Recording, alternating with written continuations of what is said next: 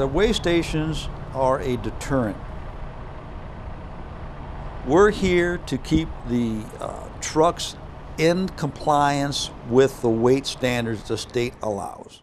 So your uh, vehicle's registered for 26,000 pounds,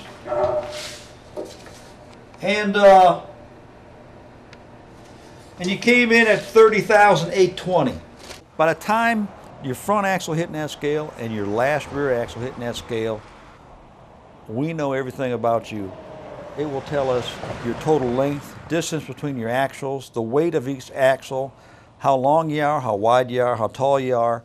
The only thing we don't know is your first name. We know everything about you before you even come in here.